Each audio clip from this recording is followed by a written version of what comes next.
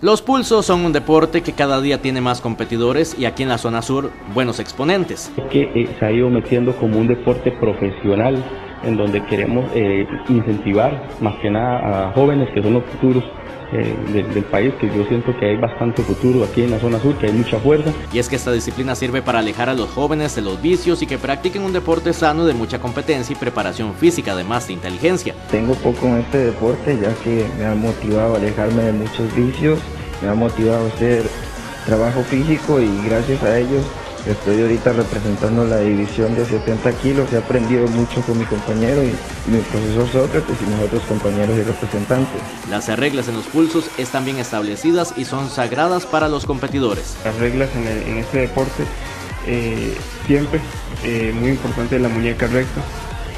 Los hombros tienen que estar alineados.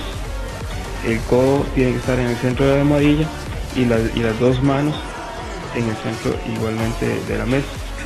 Eh, a la hora de la salida, eh, usted después de la salida tiene permitido doblar la muñeca al contrario, tirar con el cuerpo, meter el hombro.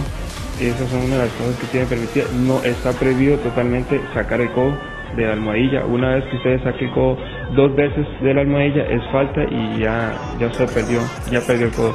Los pulsos tienen el apoyo del ICODER.